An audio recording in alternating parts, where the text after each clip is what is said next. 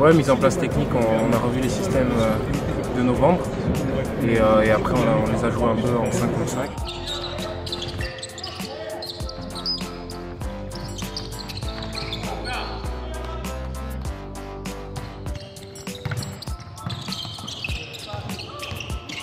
Après l'objectif c'est vraiment d'avoir des, automatismes?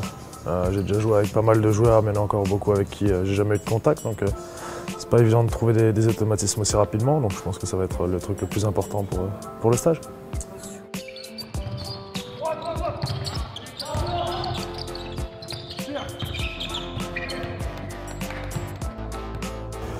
On a, on a seulement 3-4 jours pour, pour travailler donc on va forcément mettre de l'intensité très rapidement.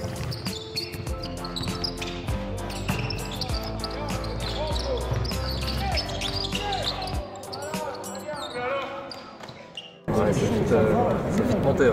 c'est vite monté, fallait être prêt, donc on est tous facile heureusement qu'il y a des arbitres parce que ils ont du boulot.